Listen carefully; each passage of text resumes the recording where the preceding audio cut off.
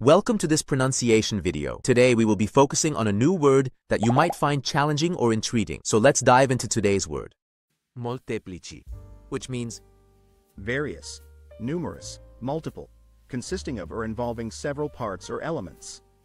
Let's say it all together. Molteplici.